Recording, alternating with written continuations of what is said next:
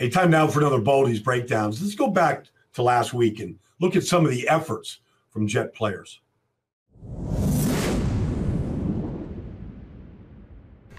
Despite the blowout loss in Seattle, I thought there were some great efforts. Starting with Corey Ballentine in his kickoff return. Excellent block by Trevon Wesco. And Corey Ballentine takes this kickoff 66 yards, getting the Jets offense jump started right there at the 30 yard line. Special teams showed up. And then watch Marcus Maye in the back half of this defense here, covered two look. They're going to take a home run shot to DK Metcalf.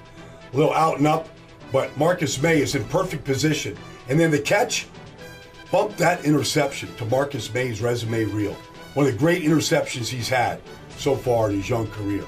Great play, taking points away from Seattle. How about Foley Fatukasi right here? He had a sack in his game, tackle for loss, chasing Carlos Hyde down from behind right here for a four yard loss. Good job inside by Quinnen Williams and Tarell Basham as well. And then you look at Neville Hewitt.